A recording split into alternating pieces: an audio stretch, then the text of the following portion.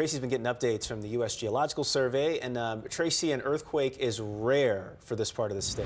You know what? I mean, for us to feel it, it's not unusual that when they've happened in the state, we have felt them before. But yeah, we're going to talk about how rare of an occurrence of an earthquake is in our area in just a moment. But here's the map perspective. So here we are in Chicago.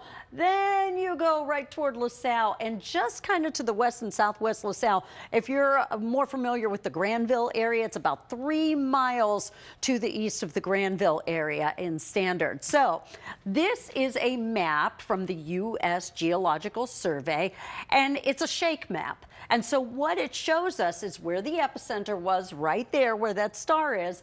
But then these little boxes indicate where there was some degree of shaking. And so most of the boxes are in this light blue color, and that represents that there was some weak shaking, shaking, which extended even toward the Buffalo Grove area. I even saw a blue box that was up around Milwaukee. So some of that shaking was felt fairly far away from the epicenter itself. And there were just a couple little isolated incidents of moderate shaking, but typically a 3.6 magnitude earthquake is something we would consider to be minor. You know, in Illinois, we do average one earthquake a year.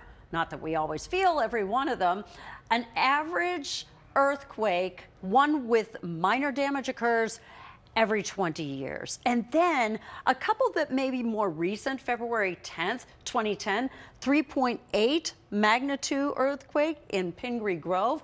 April 18th, 2008, we had a 5.2 downstate in Mount Carmel. But the biggest one ever reported and felt in this area was from back in 1968, 5.4 magnitude earthquake downstate Hamilton. Watch breaking news on YouTube. Subscribe to ABC7 Chicago Eyewitness News.